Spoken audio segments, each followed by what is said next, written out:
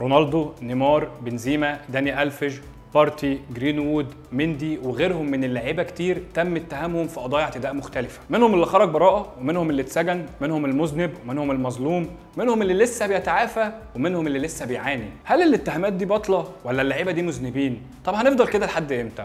like و share و subscribe ويلا بينا نشوف إيه الحوار ده. في 2015 تم اتهام بنزيما بأنه بيبتز زميله في المنتخب الفرنسي فالبوينا.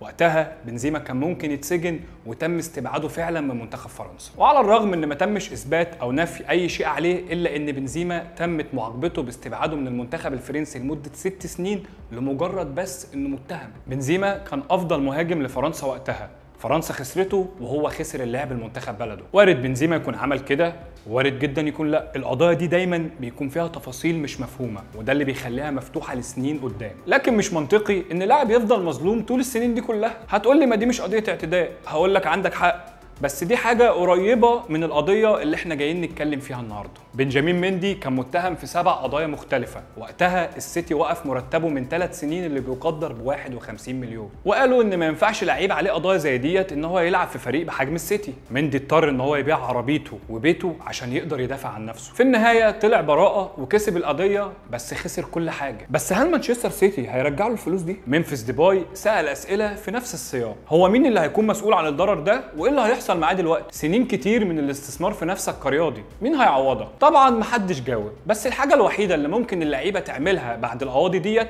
إن هم يرفعوا قضايا تعويض على اللي اتهموه. لأن أغلبية اللعيبة لما بتطلع من المشكلة ما بياخدوش أي رد فعل. واحدة من السيدات اللي اتهمت مندي كانت برضه متهمة شخص قبله ولكن هي كانت متصورة وبمزاجها فمندي خرج من القضية دي بكل سهولة. المفروض إن على الأقل يتحكم على السيدة دي بتعويض. وجود قرار معين هيخلي في المستقبل أي حد بيحاول إن هو يتهم لعيبة الكرة كذب يفكر مرتين. بس برضه محتاجين نسأل سؤال.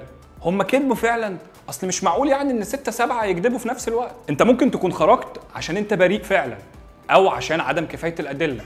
أو عشان اتصالحتوا أو عشان المدعي اتنازل عن القضية. جرين وود مؤخرا كان متهم بالاعتداء على صديقته ولكن بعد كده الاتهامات سقطت من عليه. كلام الصحافة بيقول إن هم اتصالحوا في الآخر. الفيديوهات موجودة فأكيد جرين وود عمل كده. بس في الآخر هم اتصالحوا. وكمان هي خلفت قريب. داني ألفيش كان محور اهتمام بقضية شكله كده كان مذنب فيها. في الأول قال إنه ما يعرفش الست دي.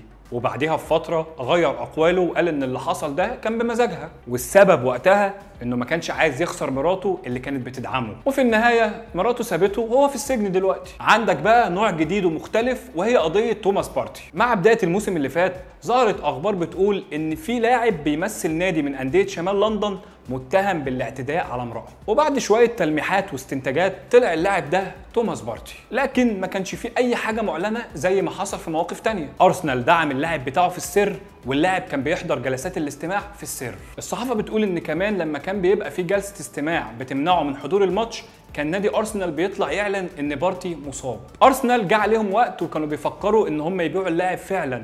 لكن الوضع دلوقتي بقى أهدى شوية ويمكن يكون في تفاصيل تانية إحنا ما نعرفهاش. أغلبية القضايا ديت بيكون المدعي والمدعي عليه سهرانين في مكان وغالبا بيكونوا مش في وعيهم. طرف فيهم بيستغل التاني وعمر الكلام في الموضوع ده ما هيخلص. طب وأنا مالي يا عم بكل الكلام ده؟ تعال أقول لك مالك. حاجتين عايز أقولهم لك. أول حاجة إن في نوعية القضايا ديت المشاهير ولاعيبه الكورة بيكونوا مدانين لحد ما تثبت براءتهم وده مش معناه إنه ملاك. لكن لو كان مظلوم فعلا الضرر عليه هيبقى أكبر. الحاجة التانية والأهم بقى إن إحنا لازم نفهم إن لعيبة الكورة مجرد لعيبة كورة. فريق أنت بتحبه وبتشجعه. راح ليه اللعيب الفلاني اللي خلاك تتعلق بيه وتحبه كلاعب كورة وخلاك مبسوط. لكن مفيش حد من الناس دي ينفع تاخده قدوة. وهنا إحنا بنتكلم على لعيبة أوروبا. حبه وتعلق بيه وشجعه. بس حب نفسك أكتر عشان تنجح وده الأهم. رونالدو وميسي ومبابي وهالاند وأي لعيب مهما بلغت شهرته ونجوميته حبه وتعلق بيه داخل المستطيل الأخضر بس.